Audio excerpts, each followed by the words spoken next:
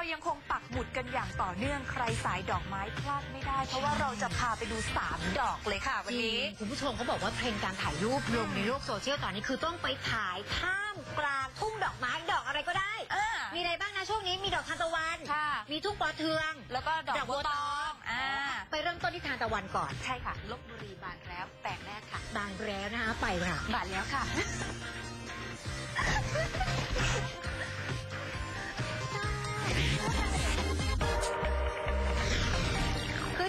ในปักหมุดเนี่ยเพราะอยากจะให้คุณผู้ชมเนี่ยหาที่เที่ยวได้เยอะค่ะๆอะเพราะฉะนั้นเราไปกันที่บริเวณแปลงทุ่งทานตะวันที่เขาปลูกกันเต็มเลยเนี่ยนะ ด้านข้างวัดสว่างอารมณ์นะคะ อยู่ที่ตำบลช่องสาริกาอำเภอพัฒนานิคมเป็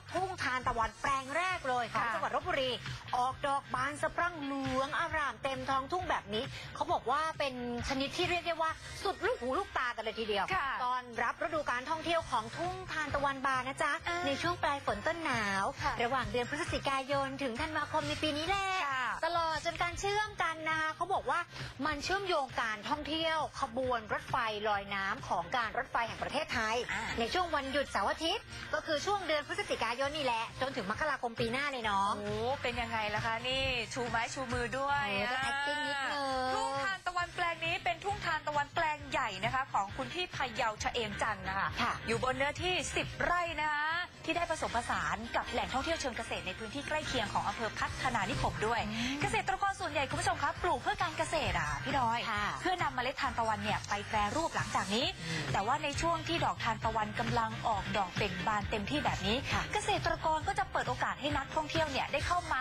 เที่ยวชมมาแชะภาพเซลฟี่กันอย่างจุใจแบบนี้เลยมีความสุขมากเนาะเนาะเพื่อส่งเสริมการท่องเที่ยวเชิงเกษตร จนนักท่องเที่ยวที่เดินทางต่างพากันประทับใจในความสวยงามจ้ะอะส่วนใครที่ชื่นชอบแล้วกำลังหลงไหลในทุ่งทานตะวันแปลงนี้มาได้ตลอดเลยนะคุณผู้ชมนะ ไปแล้วก็ไปได้อีกนะคะ เพราะว่าดอกทานตะวันเนี่ยเขาจะทยอยกันบานเนาะค่ะเขาจะไม่บานพร้อมๆกันค่ะ อจะบานไปจนถึงช่วงเดือนมกราคมปีหน้าเลย ส่วนแปลงปลูกส่วนใหญ่เนี่ยก็จะปลูกในพื้นที่ติดๆกับถนนใช่ไหมมันทำให้สะดวกต่อการเอารถยนต์ส่วนตัวมาก็ได้นะน้อง ค่ะ แล้วก็ไปแบบหมู่คณะคุณผู้ชมจะเหมารถตู้จะอะไรมาแล้ว แต่สะดวกเลย เข้ามาเลยที่ทุ่งทานตะวันถ่ายรูปชิลๆชิคๆเช็คอินเมืองไทยไม่ไกลจากกรุงเทพนะจ๊ะจ้า